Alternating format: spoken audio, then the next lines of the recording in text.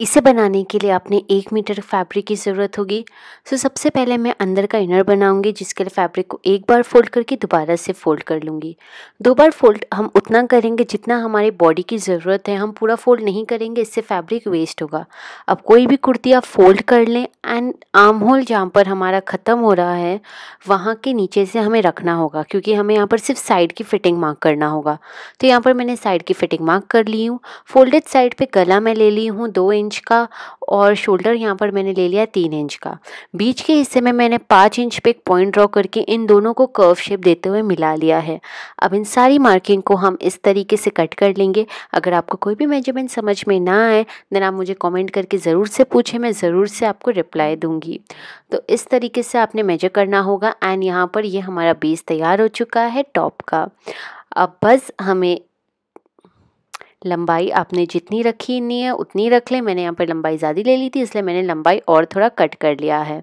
अब इस तरीके से हमारा टॉप तैयार हो चुका है। बस साइड की फिटिंग कर लेना होगा। नीचे का जो हिस्सा है, उसे मोड़ लेंगे। ऊपर का भी हिस्सा मोड़ लेंगे एंड ऊपर की तरफ़ पट्टी लगा लेना होगा। तो यहाँ पर मैंने व्हाइट कलर की पट्टी का इस्तेमाल किया है। आप सैटन रिबन या कोई भी घर में भी पट्टी बना सकते हैं। इस तरह की पट्टी को मैं लगा लूँगी। पट्टी की लंबाई थी चार इंच की, जो मोड़ने के बाद सॉरी, पट्टी की लंबाई थी आठ इंच की। मोड़ने के बाद चार इंच हो जाएगी। इस तरीके से हमारा ऊपर का टॉप तैयार हो चुका है। अब हम ऊपर की जैकेट प्रिपेयर करेंगे, जिसके लिए बचे हुए फैब्रिक से मैंने एक बार इसे फोल्ड कर लिया है, फिर दोबारा फोल्ड कर लूँगी। यहाँ पर दोबारा फोल्ड करने के लिए सेम हमें उतना ही फोल्ड करना होगा जितना ज़रूरत है।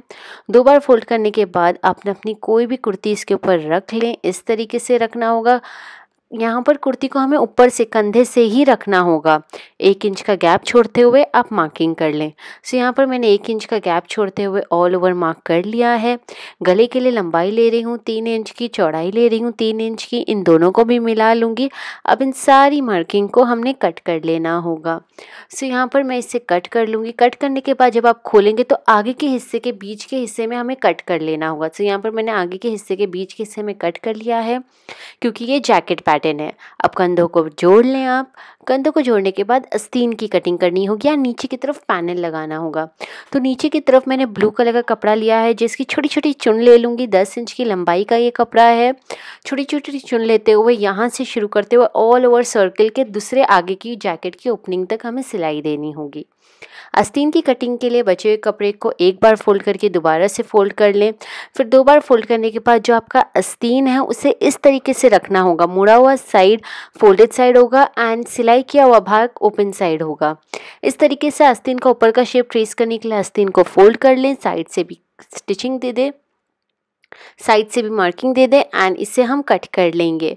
तो इस तरीके से आप देखें, हमने इसे कट कर लेना होगा। अस्तीन का शेप एक इंच का गैप देते हुए।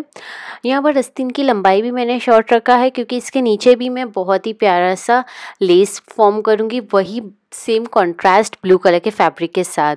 सो यहाँ पर आप देख लें, मैंने दोनों अस्तीन कट कर चुका है। अस्तीन कट हो जाने के बाद अब हम अस्तीन के नीचे एक पैनल लगाएँगे। सो यहाँ पर जो ब्लू कलर का फैब्रिक मैं नीचे की ओर लगाऊँगी, वो, वही सेम ले लूँगी, चार इंच की चौड़ाई का। फोल्ड करते हुए इस तरीके से छोटे छोटी चुन देते हुए हमें लगाना होगा। फोल्ड करते हुए लगाएँगे, इससे किनारे भी नहीं मोड़ना होगा और बहुत ही आसानी से ये लग जाएगी।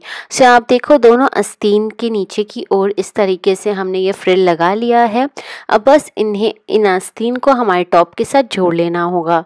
टॉप के साथ आस्तीन को जोड़ना भी बहुत आसान है। टॉप को खोल लें आप और टॉप को खोल लेने के बाद हमें आस्तीन बस लगा लेनी होगी। आस्तीन लग जाने के बाद मैंने नीचे की ओर भी बहुत ही प्यार सा फ्रिल पैटर्न लगा लिया था जिस के बारे में मैंने ऑलरेडी आपके साथ शेयर किया है। एंड इस तरीके से हमारा जैकेट बन गया है। बस बीच की किनारी को भी मोड़ लेना होगा। एंड ये हमारा बहुत ही सुंदर सा जैकेट प्रिपेयर हो चुका है। इसे वन मीटर फैब्रिक में हमने इसे बनाया है। एंड बहुत ही ज़्यादा सुंदर लग रहा है। इसके ऊपर, इसके अंदर नीट आप ये टॉप पहने जो मैंने प्रिपेयर किया है, जिसका भी ट्यूटोरियल मैंने आपके साथ शेयर किया है, इस तरह का टॉप अंदर की ओर पहने, ऊपर से जैकेट पहने। एंड नीचे अगर आप चाहें तो प्लाजो पैंट्स पहने डेनिम के साथ पहने, बहुत ही सुंदर लगेगा। आप वेरियस तरीके से इसे कस्टमाइज़ कर सकते हैं। वेरियस कलर कॉन्ट्रास्ट यूज़ कर सकते हैं। इस तरह के जैकेट टॉप को बनाने के लिए बहुत ही सुंदर लगेगा एंड बहुत ही क्विक है इसका प्रोसेस वीडियो पसंद आए देन लाइक करना ना भूले। मेरे चैनल को मेरे पेज को ज़रूर से फॉलो करें एंड इसे बनाने के लिए कोई भी क्वेश्चन हो कमेंट करके ज़रूर पूछ सकते हैं। Till then thank you so much for watching guys bye bye till the next time